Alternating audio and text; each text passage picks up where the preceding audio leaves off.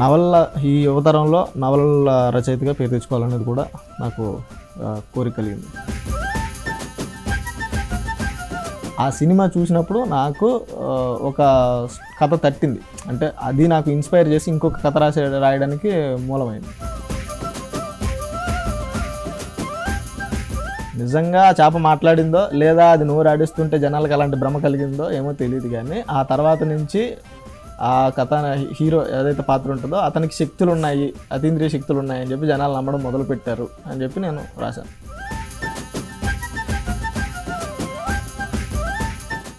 నమస్తే అక్షరం కార్యక్రమానికి స్వాగతం. ఈరోజు మన అక్షరం అతిథి ప్రసాద్ సూరి గారు. ఆయన ఒక చిత్రకారులు. ఆయన ఒక నవలాకారులు. అంతేకాదు తన సాహిత్యానికి తానే బొమ్మలు వేసుకుంటారు. ఈరోజు ఆయనతో మాట్లాడి సాహిత్యం గురించి చిత్రలేఖనం గురించి తెలుసుకుందాం. నమస్తే ప్రసాద్ సూరి గారు. నమస్తే అండి. సాధారణంగా యువతరం కవిత్వంతో మొదలుపెట్టి తర్వాత కథలు రాస్తారు. ఆ తర్వాత ఏదైనా ప్రయోగాలు చేస్తుంటారు. కానీ మీరు మొదటి నవల రాయడం మొదలుపెట్టారు. అండ్ ఆ నవలను ప్రచురించారు కూడా. దీనికి గల కారణాలు ఏమైనా ఉన్నాయా? అంటే నాకు చిన్న కథలు రాయడం రాదు. అలాగని కవిత్వం రాయడం కూడా రాదు. సో నాకు లాంగ్ ప్రోజ్ ఇష్టం చదువుకోవడం అన్నా రాయడం అన్నా. సో అందుకోసం చెప్పి నేను మొదటగా నవల రాయాలని చెప్పి అనుకున్నాను రాశాను. ఓకే. సో నిజానికి ఇప్పుడు అంతకు ముందు చూసుకున్నట్లయితే ఇప్పుడు ఓల్గా కానీ ఎద్దర్నపూడి సులోచన రాణి కానీ ఎండమూరి వీరేంద్రనాథ్ గారు కానీ వీళ్ళ నవలల్ని బాగా చదివేవారు ప్రజాదరణ ప్రజలు కూడా బాగా ఇష్టపడేవారు చదివేవారు. అయితే నిజానికి ఈ రోజుల్లో నవలలు చదవడం కానీ నవలలు రాయడం చాలా తక్కువైంది. అంటే సీనియర్ రచ- రచయితలు కాదు యంగ్ రైటర్స్. కథలు కవిత్వానికి ఎక్కువ మొగ్గు చూపుతున్న సమయంలో మీరు ప్రత్యేకంగా నవలని రాయాలని ఎందుకు అనుకున్నారు? అంటే రాయడం అన్నది నాకు ఫస్ట్ ఇంట్రెస్ట్ రాయాలి నేను ఒక నవల రాయాలని చెప్పి. ఎందుకంటే నేను నవల విరివిగా చదువుతాను కాబట్టి నాకు ఒక నవల రాయాలని కోరిక కలిగింది. అండ్ నవలలు మాత్రం ఎందుకు రాయాలనుకున్నానంటే మొదటి నవల రాసిన తర్వాత నేను గమనించిన దాని ప్రకారం తెలుగులో అంటే మీరు చెప్పినట్టుగానే నవలలు ఎవరు రాయట్లేదు.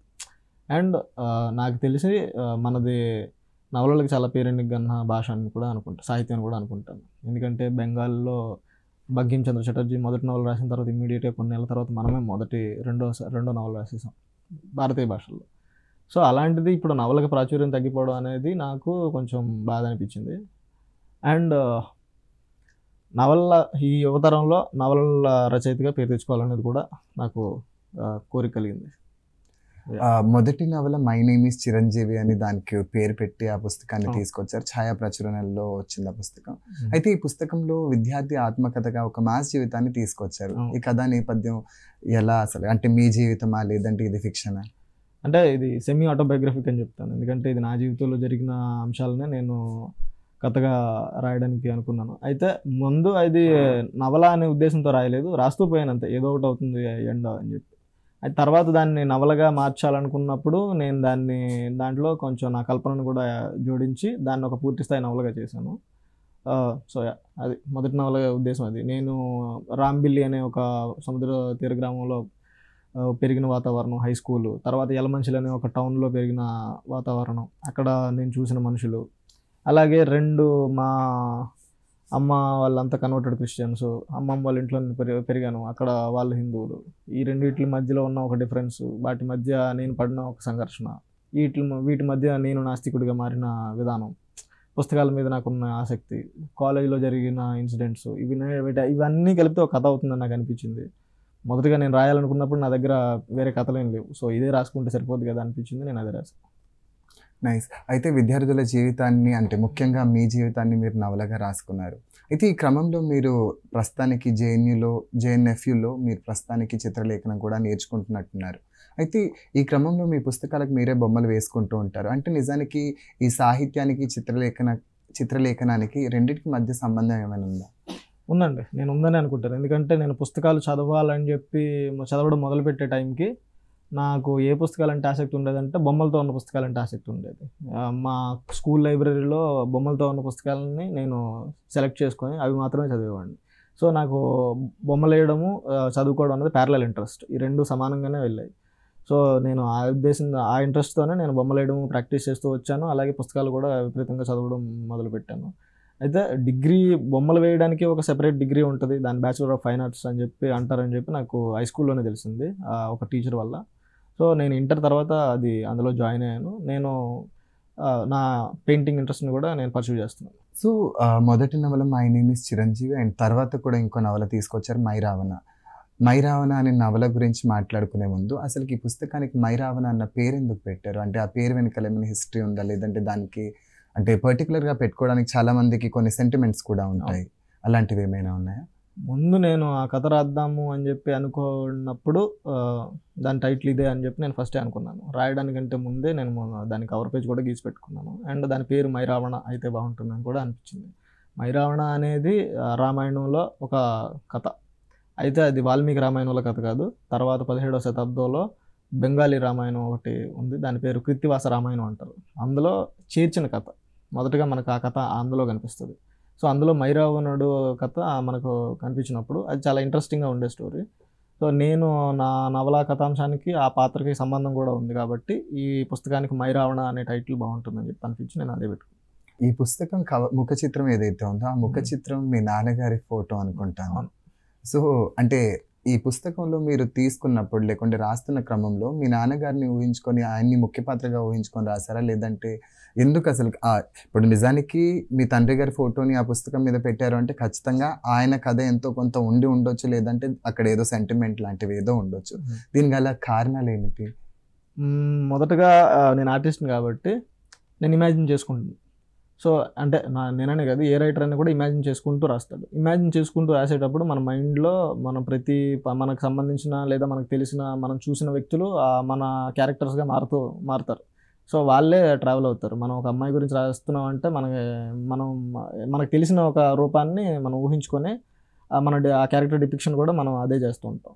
సో నేను మైరావణ అనే ఒక పాత్రను ఊహించుకుంటున్నప్పుడు నేను మా నాన్నగారినే ఆ పాత్ర ఊహించుకున్నాను. అట్ ద సేమ్ టైం మా నాన్నగారు అని ఒక్కరు కాదు నాకు తెలిసిన ఇంకొక కర్ణాటక సంగీత విద్వాంసుడు టిఎం కృష్ణ గారిని కూడా నేను ఆ పాత్రలో ఊహించుకుంటూ నేను ఆ నవల రాశాను. అయితే ఈ సందర్భంగా నేను పెయింటింగ్ సంబంధించి ఒక ఎగ్జాంపుల్ ఇస్తాను. రాజా రవివర్మ భారతీయ ప్రఖ్యాత భారతీయ చిత్రకారులు. ఆయన సీతని ఎత్తుకెళ్ళిపోతున్న రావణాసురుడు బొమ్మ వేయాలని అనుకున్నప్పుడు అతనికి ఒక మనిషి కావాల్సి వచ్చాడు. ఆ మనిషి నల్లగా ఉండాలి కాస్త పొడుగ్గా భారీగా ఉండాలి. అప్పుడు ఒక పశువులు కాసుకుంటున్న ఒక పాలేరు అతను కనిపిస్తే అతన్ని పిలిపించి అతనికి ఆ గెటప్ వేసి ఆ ఆ ఫోజులో అతన్ని బొమ్మ గీశాడు. నేను ఈ పుస్తకం కవర్ పేజ్ గీయాలనుకుంటున్నప్పుడు నేను ఈ ఫోజులో నేను మా నాన్నగారి ఫోటో తీసుకొని ఆ బొమ్మ గీసుకొని పెట్టుకున్నాను. అండ్ దాన్ని నేను ఒక ఇన్స్పిరేషన్ లాగా లేదా ఒక మోటివేషన్ లాగా వాడుకున్నాను. ఎందుకంటే దాన్ని నేను నా ఫోన్లో వాల్పేపర్గా పెట్టుకొని రోజు చూస్తుండేవాడిని సో అది నేను చూసేటప్పుడల్లా ఈ రచన చేయాలనే మోటివేషన్ నన్ను నేను మోటివేట్ చేసుకోవడానికి అది నాకు ఉపయోగపడేది. నేను కవర్ కూడా అది వాడుకున్నాను అయితే ఇప్పుడు ఈ కథ గ్యాంగ్స్టర్ కథలాగా ఇప్పుడు చదివే వారికి కొన్నిసార్లు అది గ్యాంగ్స్టర్ కథలాగా హిస్టారికల్ ఫిక్షన్ లాగా లేదంటే జానపద లేదంటే పాశ్చాత్య సాహిత్యాన్ని చదివిన ఒక విద్యార్థి ప్రభావం ఎంతగా ప్రభావితం అయ్యారంటే ఆ నవలని ఇలాంటి నవలు రాస్తారు అన్న టైప్లో మనకి అంటే చదివి వాళ్ళకి అర్థమవుతుంటుంది. అంటే దీని వెనకాల గల కారణం ఏదైతే ఉందో అంటే ఈ సాహిత్యం లేదంటే ఈ నవల మైరావణ అన్న నవలని క్రియేట్ చేయడానికి ఇప్పుడు ఈ కథాంశం ఏదైతే ఉందో దీంట్లో ఇన్ని రకాల అంశాలను అంటే హిస్టారికల్గా కానీ జానపద కానీ ఇవన్నీ కూడా ఆ కూర్చడానికి గల కారణాలు అంటే intentional గానా లేదంటే మీరు చదువుకున్న సాహిత్య ప్రభావమా లేకుంటే చిత్రలేఖనం చిత్రలేఖనాన్ని సాహిత్యాన్ని కూడా విడగొట్టలేము అన్నారు మీరు. అంటే. రెండిటికి అనుబంధం ఉంది. మొదటగా నాకు పుస్తకాలు చదవడం వల్ల పుస్తకాలు రాయాలనే కోరిక కలిగింది. అట్ ద సేమ్ టైం నాకు సినిమాలు అంటే కూడా ఇంట్రెస్ట్ సో నాకు సినిమా డైరెక్టర్ అవ్వాలన్నది ఒక డ్రీమ్ లాగా. అయితే నన్ను సినిమాలు కూడా ఇన్స్పైర్ చేస్తూ ఉంటాయి రచనలకు సంబంధించినంత వరకు. నేను ఈ కథాంశాన్ని అంటే ఈ ఇలాంటిది ఒక కథ రాయాలని చెప్పి అనుకున్నప్పుడు నా దగ్గర జస్ట్ ఒక ప్లా సబ్జెక్ట్ ఉంది అంతే సబ్జెక్ట్ అంటే చేపలు పట్టుకునే వాళ్ళ మీద ఒక కథ రాయాలి అనేది సబ్జెక్ట్ మాత్రం అయితే లైన్ లేదు. స్టోరీకి సంబంధించిన స్టోరీ లైన్ నా దగ్గర ఏం లేదు. అప్పుడు నేను ఒక ఫేమస్ మూవీ ఒకటి పాపులర్ అయిన ఆ సినిమా అప్పుడు ఒక సినిమా రిలీజ్ అయింది. దాని పేరు కేజీఎఫ్ ఉమ్. ఆ సినిమా చూసినప్పుడు నాకు ఒక కథ తట్టింది. అంటే అది నాకు ఇన్స్పైర్ చేసి ఇంకొక కథ రాసే రాయడానికి మూలమైంది. సో అది నాకు అనిపించినప్పుడు నేను ఇలాంటి ఒక ఫీల్తో మొత్తం స్టోరీ అంతా నేను చెప్పాలి అని అనిపించింది. నాకు అర్థమైంది ఏంటంటే ధైర్యము తెలివి శక్తి ఈ మూడు ఉన్నవాడికి అదృష్టం కలిసి వస్తే ఏం జరుగుతుంది ఏం ఏం చేస్తాడు వాడు అనేది నాకు ఆ కథాంశంగా అనిపించింది. అదే కథాంశంతో నేను కూడా ఒక సెపరేట్ కథ రాస్తానని అనిపించినప్పుడు నేను దానికి మీద వర్క్ చేయడం మొదలుపెట్టాను. అయితే ఇది ఒక విశిష్టమైన నవలగా రాయాలనేది నా పర్సనల్ ఉద్దేశం. ఇది ఒక దీనికి ఒక విశిష్టత ఉండాలి. చేపలు పట్టుకునే వాళ్ళ మీద ఇప్పటిదాకా అథెంటిక్గా పుస్తకాలు ఏమి రాయలేదు. ఒకవేళ వచ్చినా కూడా చేపలు పట్టుకునే నేపథ్యం నుంచి ఎవరు రచనలు చేయలేదు. సో నేను నాది మొదటగా నా దీనికి మొదటి క్రెడిట్ ఉంటుంది అది. అయితే దానికి కూడా ఒక విశిష్టత ఉండాలి. రెగ్యులర్ చేపలు పట్టుకునే వాళ్ళ జీవితం లాగా ఉండకూడదు. ఉన్నా కూడా ఇందులో దానికి ఇంకొక విశిష్టత ఉండాలి. ఆ విశిష్టతని అనుకున్నప్పుడు నాకు మ్యాజిక్ రియలిజం అనే కాన్సెప్ట్ని దీనికి జత చేస్తే ఎలా ఉంటుంది? మ్యాజిక్ రియలిజం మార్క్వైజ్ సింపుల్గా చెప్పేది ఏంటంటే నువ్వు అబద్ధానికి అథెంటిక్గా ప్రజెంట్ చేస్తే అది మ్యాజిక్ రియలిజం అంటాడు. సో నువ్వు ఏదైనా ఒక అబద్ధాన్ని లేదా ఒక కల్పించి చెప్పేదానికి ఒక అథెంటిక్ ఇన్ఫర్మేషన్ యాడ్ చేస్తే అది నీకు నమ్మశక్యంగా ఉంటుంది. అలాంటి నమ్మశక్యతను కలిగించడం కోసం నేను రకరకాలుగా చేశాను. మీరు చెప్పినట్టు చారిత్రక అంశాలు జోడించడము రాజకీయ అంశాలు జోడించడము అలాగే కొంచెం సాంకేతిక పరమైనవి జానపదము ఇతిహాసానికి సంబంధించిన అన్నీ కలిపి ఒక కథగా మలచడానికి నేను ప్రయత్నించాను మీరు మ్యాజికల్ రియలిజం అని అన్నారు. నిజానికి తెలుగులో వి చంద్రశేఖరరావు కానీ లేకుంటే మునిపల్లి రాజు గారు కానీ ఇలా కొంతమంది ఈ మ్యాజికల్ రియలిజాన్ని కరెక్ట్గా ప్రజెంట్ చేశారు అండ్ కొంతమంది ప్రయత్నిస్తూనే ఉన్నారు. అయితే ఇప్పుడు మీరు ఈ పుస్తకంలో ప్రజెంట్ చేసినటువంటి అంశాల్లో ఏదైనా ఎగ్జాంపుల్గా ఒక అంశాన్ని లేదంటే ఒక పాత్ర లేకుంటే ఒక సిచ్యువేషన్ ఏదైతే ఉందో దాని గురించి ఒకసారి అంటే మ్యాజికల్ రియలిజం మీరు మీరు దాన్ని ఎలా రిప్రజెంట్ చేశారు ఒకసారి మా ప్రేక్షకుల కోసం? ఒక సన్నివేశం ఉంటుంది? ఆ సన్నివేశంలో హీరో చేపలు పట్టుకునేవాడు. చేపలు పట్టుకోవడంలో రకరకాలు ఉంటాయి. ముఖ్యంగా చేపలు మేము ఎలా పడతాం అంటే మేము వలలేస్తాం. వేస్తాం వలలో చాలా పొడుగు పొడుగు పొడుగ్గా ఉంటాయి. అవి చీరలాగా కింద మీద అంచులతో ఉంటాయి. అలా వలలు హీరో కథానాయకుడితో పాటు మొత్తం ఆ చుట్టుపక్కల మిగతా చేపలు పట్టుకునే వాళ్ళు కూడా వలలు వేస్తారు. ఒక్కోసారి రెండు వలలకు ఒకే చేప పడుతుంది. ఎందుకంటే వలలు క్రాస్ అవుతాయి కాబట్టి. అలా ఒక చేప పడినప్పుడు వాళ్ళిద్దరికి ఆ చేప విషయంలో గొడవ జరుగుతుంది. నాదంటే నాదని చెప్పి గొడవ పడుతూ ఉంటారు. గొడవ పడినప్పుడు వాళ్ళు ఆ చేపతో పాటు చేపను పట్టుకొని పెద్దల దగ్గర ఊరి పెద్ద మనుషుల దగ్గరికి పంచాయతీకి వెళ్తారు. పంచాయతీకి వెళ్ళినప్పుడు ఎవరిది ఏంటి అని చెప్పి తేల్చుకోలేకపోతుంటారు. ఎందుకంటే నా ఇద్దరు నాది నాది అనే వాదిస్తున్నారు. సో నేను అప్పుడు ఒక మ్యాజికల్ ఎలిమెంట్గా ఏం యాడ్ చేశానంటే ఆ చేప నిజంగా ఎవరిది అనేది ఎవరు చెప్పాలి? ఆ చేప చెప్పాలి. సో నేనేం చేశానంటే ఆ చేప మాట్లాడింది. నేను ఆ వ్యక్తి వల్లనే పడ్డాను.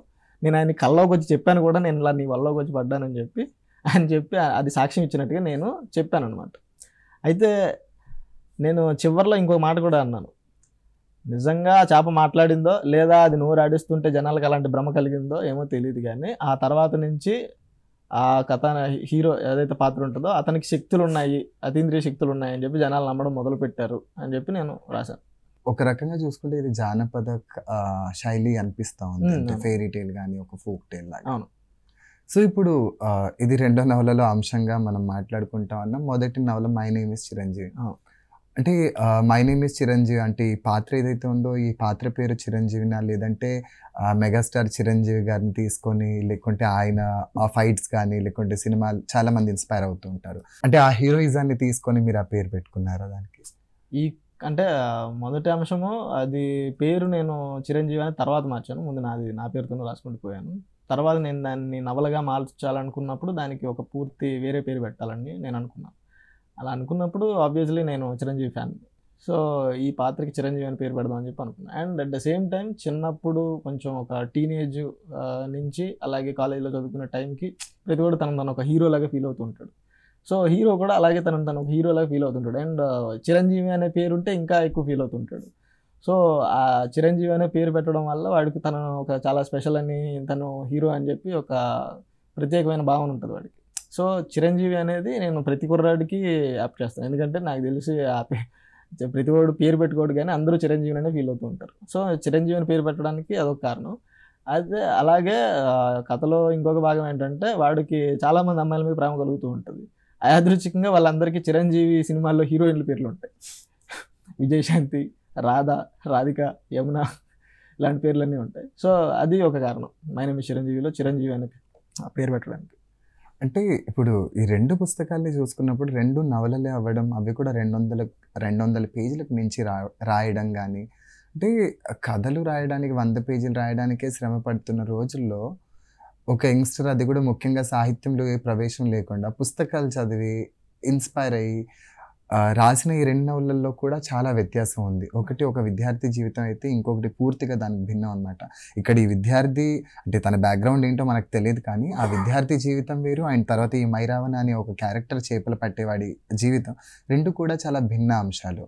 ఈ భిన్న అంశాలని మీరు సాధారణంగా రాస్తున్నప్పుడు అంటే లేదు లేదు నేను ఇది రాస్తున్నాను కదా నా జీవితాన్ని చెప్పుకున్నాను కదా మరి నేను ఈ మైరావణలో కూడా నా జీవితమే చెప్పుకోవాలి అని అనిపించలేదు మీకు? నేను రెండిట్లో అదే పని చేశానని చెప్తాను. ఎందుకంటే నేను చేపలు పట్టుకునే బ్యాక్గ్రౌండ్ నుంచే వచ్చాను ఓకే అండి ఆ family background family background and intermediate దాకా కూడా నేను నేను చేపలు పట్టాను.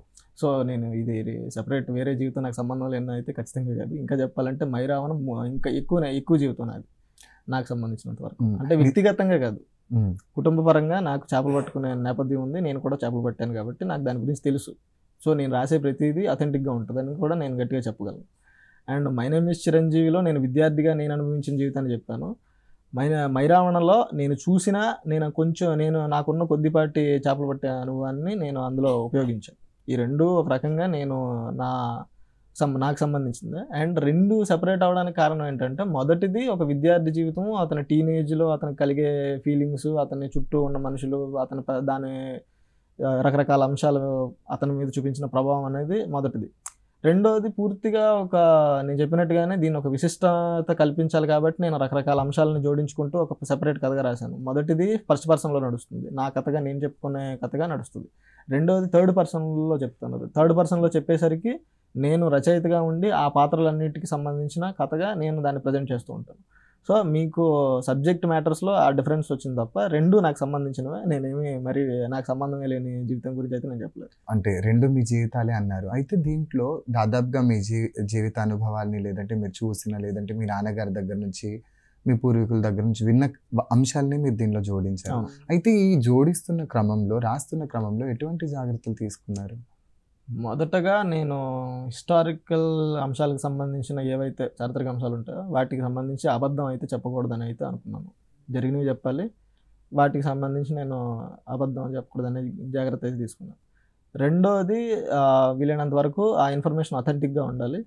అథెంటిక్తో పాటు నేను రాసే దాంట్లో అది ఇమ్మడాలి కథాంశంలో ఆ- ఆ అంశాలు ఆ అంశాలన్నీ ఇమ్మడాలి సో వాటికి సంబంధించి నేను రీసెర్చ్ ఒక రెండు సంవత్సరాల పాటు కంటిన్యూస్ రీసెర్చ్ ఒకవైపు రాస్తూ ఉన్నాను ఇంకోవైపు దానికి సంబంధించి రీసెర్చ్ చేస్తూనే ఉన్నాను. కథకి తగ్గట్టుగా నేను ఏమైనా కొత్త ఇన్ఫర్మేషన్ దొరికినప్పుడు నా కథను మార్చుకుంటూ ఉన్నాను. సో అలాగా వీలైనంత వరకు అందులో నేను చెప్పిన ఏవైతే ఇచ్చిన అంశాలు ఏవైతే ఉన్నాయో అవన్నీ నిజంగా జరిగినవి అని చెప్పడానికి నా దగ్గర ఆధారాలు ఉన్నాయి. అండ్ మీరు చెప్పినట్టు ఇది రెండు వందల పేజీలు పైన అయితే ఏం కాదు. మొదటిది రెండు వందల పేజీలు నవల రెండవది నూట డెబ్బై పేజీలు. చాలామంది చెప్పేది ఏంటంటే నేను తీసుకున్న కథాంశం చాలా పెద్దది. అంటే బ్యాక్గ్రౌండ్ క్యాన్వాస్ ఏదైతే ఉందో చాలా విస్తృతమైనది. కానీ నేను దాన్ని కేవలం నూట డెబ్బై పేజీల్లో చెప్పేయడం వల్ల కథ ఏదో ఒక అసంతృప్తి మిగిలిపోయిందని చెప్పి చాలామంది అంటున్నారు. రాసేటప్పుడు మైరావణ నేను ఒక ఐదు వందల పేజీల నవల బృహత్తరమైన పెద్ద నవలగా రాయాలని చెప్పేది నా ప్లాన్. అయితే నేను రాసేటప్పుడు సంహవ్ నేను దాన్ని పూర్తి స్థాయిలో విడమర్చి ఎలాబరేట్గా కథను అయితే చెప్పలేకపోయాను. వీలైనంత వరకు క్లుప్తంగా క్రిస్పీగా చెప్పాలంటున్నాను. దానికి ఒకటి కేశవరెడ్డి గారు వంద పేజీలు నూట ఇరవై పేజీల లోపు కథని ముగించేస్తారు అద్భుతమైన కథను ప్రజెంట్ చేస్తారు. మనం అలాంటి ఒక క్రిస్ప్నెస్ని పాటిస్తూ కథను చెప్తే బాగుంటుందని చెప్పి నాకు అనిపించింది నవల్ల ఎందుకు రాయాలనుకుంటున్నట్టు మళ్ళీ చెప్పినట్టు విస్తృతం ఒక పూర్తి జర్ నేను ఆ కథాంశంతో ఆ పాత్రలతో ఒక పూర్తి జర్నీ చేసినట్టుగా ఉండాలని చెప్పేసి నేను అనుకుంటూ ఉంటాను నాకు అది ఒక రకమైన ఆనందాన్ని ఇస్తుంది. చిన్న చిన్న కథలు నేను రాయలేను అయితే ఈ చిత్రలేఖనానికి సాహిత్యానికి మధ్య తేడాలు చూసుకున్నప్పుడు లేదంటే అడాప్టేషన్ కానీ ఇప్పుడు మీరు రెండిట్లోనూ మీకు ప్రవేశం ఉంది. ఒక బొమ్మ వేయాలంటే దాన్ని ఎలా ఊహించుకోవాలి? ఆ ప్లాట్ కానీ లేదంటే దాన్ని ఎలా తీసుకెళ్ళాలి? ఇప్పుడు మనం అదే సాహిత్యంలోకి వచ్చేటప్పటికి అక్షరాలని ఎలా పే పేర్చాలి? అండ్ పేర్చి దాన్ని ఎలా ఫామ్ చేయాలి అనేది ఒక కాన్సెప్ట్. అండ్ బొమ్మలకు వచ్చేటప్పటికి సేమ్ అలాగే పెయింటింగ్స్ కలర్స్ కానీ లేదంటే అది చార్కోల్ పెయింటింగా లేదంటే పెన్సిల్ ఆర్ట్ సంథింగ్. ఈ రెండిటికి కూడా అంటే ఎటువంటి డిఫరెన్సెస్ ఉండొచ్చు? ఇది రైటింగ్ మీడియము మీరు రాస్తారు. రాసేదాన్ని బట్టే మీరు చెప్పాలనుకున్న దాన్ని కన్వే చేస్తారు. పాట కూడా ఊహించుకుంటాడు. మీరు చెప్పేదాన్ని పాట కూడా తనకి ఉన్న పరిధిలో లేదా తన ఊహ పరిధిలో తనని ఊహించుకోవడానికి ప్రయత్నిస్తాడు. మీరు చెప్పేదాన్ని అక్షరాల్లో మీరు చెప్పేదాన్ని అతను ఊహించుకుంటాడు. పెయింటింగ్ వచ్చేసరికి మనం చెప్పాల్సి ఉంటుంది అంటే చూపించాల్సి ఉంటుంది మనం ఏం చెప్పదలుచుకున్నాం అనే దాన్ని. అండ్ ఇంకొకటి నేను అకాడమిక్గా పెయింటింగ్ నేర్చుకోవడంలో ఒకటి ఏంటంటే పదే పదే మా ఫ్యాకల్టీస్ ఎవరైతే టీచర్స్ ఉంటారో వాళ్ళు చెప్పేది ఏంటంటే ఏది డైరెక్ట్గా చెప్పొద్దు. డైరెక్ట్గా చెప్పొద్దంటే డైరెక్ట్గా చెప్తే అది ఇలస్ట్రేషన్ అయిపోద్ది. ఇప్పుడు మీరు పత్రికల్లో కథలకి వచ్చే బొమ్మలు ఉంటాయి వాటిని ఇలస్ట్రేషన్స్ అంటారు. మీకు ఆ బొమ్మ చూడగానే ఆ అంశం ఏంటి ఆ పాత్రలు ఏం చేస్తున్నాయి అనేది కనబడగా చూడగానే తెలిసిపోద్ది. దాన్ని ఇలస్ట్రేషన్స్ అంటారు. ఆ ఇలస్ట్రేషన్ అనే దాన్ని మా వాళ్ళు వీలైనంత వరకు తగ్గించి ఇండైరెక్ట్గా చెప్పాలి మెథాడికల్గా చెప్పాలి లేదా కాన్సెప్చువల్గా చెప్పాలి సింబాలిక్గా చెప్పాలి. వీటన్నింటినీ మేము కాలేజీలో నేర్చుకుంటూ ఉంటాం. సో ఈ రెండింటిని వీలైనంత వరకు ఈ రెండు ఒకటే. అందులో కూడా మీకు ఒక కథని పెయింటింగ్లో చెప్పొచ్చు ఒక కథని మీరు పుస్తకంలో చెప్పొచ్చు. ఆ పెయింటింగ్లో చెప్పేదానికి వచ్చేసరికి మీకు రకరకాల మెథడ్స్ ఉంటాయి రకరకాల అప్లికేషన్స్ ఉంటాయి. రకరకాల ఐడియాస్ ఉంటాయి. ప్రజెంటేషన్ అనే దాన్ని చూపించేటప్పుడు. సో వాటికి సంబంధించి మేము నేర్చుకుంటూ ఉంటాము. రెండు ఇంచుమించు నా వరకు అయితే రెండు ఒక ప్యారలల్ ఇంట్రెస్ట్ నేను దాన్ని రెండింటిలోనూ ట్రై చేస్తుంటాను అయితే ఇప్పుడు సాహిత్యం సాధారణంగా మనం చదువుతూ ఉంటాం. చదువుతున్నప్పుడు అది కాంక్రీట్ ఇప్పుడు మనకి నౌన్స్ ప్రనౌన్స్ ఉన్నాయి. వాటిలో కాంక్రీట్ నౌన్ అని ఒకటి ఉంటుంది. ఒక దాన్ని ఎన్ని రకాలుగా ఊహించుకునే అవకాశం ఉంది. అది సాహిత్యంలో కూడా మనకు వర్తిస్తుంది. ఇది పెయింటింగ్కి వచ్చేటప్పటికి కేవలం మనం అంటే గీసేస్తాము లేకుంటే రంగులు అద్దేసి పెట్టేస్తాం. ఆ పెయింటింగ్ని సాహిత్యం లాగా ఊహించుకోవడానికి అంటే బియాండ్గా వెళ్ళడానికి ఏమైనా అవకాశం ఉంటుందండి పెయింటింగ్లో కూడా మీకు అసలు కానీ కళ్ళ ముందు కనిపించే దానికంటే కూడా మించిన మీనింగ్స్ పాట అర్థమయ్యేలాగా రకరకాలుగా అంశాలు ఉంటాయి సో అది పెయింటింగ్లో కూడా సాధ్యమే. అండ్ మీరు చెప్పినట్టే ఇంకా చెప్పాలంటే పెయింటింగ్లోనే అది ఎక్కువ. మీ కళ్ళ ముందు ఏదైతే వస్తువు కనిపిస్తుందో అది ఆ వస్తువును మాత్రమే కాదు ఇంకా వేరే తెలియని మీనింగ్స్ని కూడా అది రిప్రజెంట్ చేస్తుంది. బొమ్మ లేని సాహిత్యం లేదంటే సాహిత్యం లేని బొమ్మ రెండు కాన్సెప్ట్స్ ఉన్నాయి. ఇప్పుడు పేపర్లో పత్రికల్లో లేదా మ్యాగజైన్స్లో చూస్తే మనకి కేవలం బొమ్మలే ఇస్తూ ఉంటారు. అండ్ బొమ్మలతో మనం సాహిత్యాన్ని ఊహించుకొని ఇది ఇలా జరిగి ఉండొచ్చు ఇది ఇలా అయి ఉండొచ్చు అనొచ్చు. అండ్ మళ్ళీ తర్వాత వచ్చేటప్పటికి సాహిత్యంలో అంటే ముఖ్యంగా బాల సాహిత్యం కానీ లేదంటే నార్మల్గా పత్రికల్లో స్పేస్ ఎక్కువ ఉండక ఉండడ ఉండకపోవడం చేత సింగిల్ లైన్స్ ఇస్తూ ఉంటారు. ఈ రెండు కూడా ఏంటంటే జస్ట్ ఒక లిమిటెడ్ స్పేస్లో మనకి పెద్ద కాన్వర్స్ చెప్పడానికి ట్రై చేస్తూ ఉంటారు. ఇటువంటి క్రమంలో మనము అంటే చెప్పాలనుకున్న కథ కానీ లేదంటే ఒక ఆర్ట్ ఫామ్ లేదంటే ఒక ఫీల్ని మిస్ అవుతామా ఏమైనా?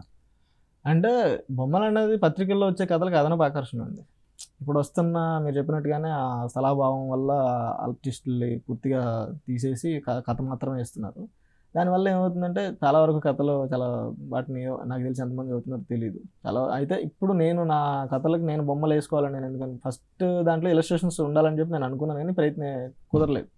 కానీ రెండో పుస్తకం నేను రాసేటప్పుడు కాన్షియస్గా నేను ఆ పుస్తకంలో బొమ్మలు ఉండాలి. ఆ బొమ్మలు కూడా నేను ఏవైతే మీడియంస్ నేను నా కోర్సులో నేర్చుకుంటున్నానో వాటిని వాడాలనుకున్నాను. ఈ పుస్తకంలో నేను వుడ్ కట్ అనే మీడియంని వాడాను. ఒక చెక్క మీద బొమ్మని చెక్కి దాన్ని ప్రింట్ తీసి వాడడం అనేదాన్ని వుడ్ కట్ అంటారు. నేను దాన్ని ఇందులో వాడాలని చెప్పి అనుకున్నాను ఇలస్ట్రేషన్స్ అనేది నాకు నాకు బొమ్మలు వచ్చి కాబట్టి నేను నా కథని చెప్పేటప్పుడు విజువల్గా నేను దాన్ని ప్రజెంట్ చేయాలి. అంటే నేను నేను ఏదైతే ఇమేజ్ అనుకుంటున్నానో నా బుర్రలో ఏదైతే ఉందో దాన్నే పాఠకుడు కూడా ఊహించుకోవాలి అనే దాన్ని నేను చెప్పాలనుకుంటాను. సో దానికోసం నేను ఇలస్ట్రేషన్స్ వేసుకుంటూ ఉంటాను.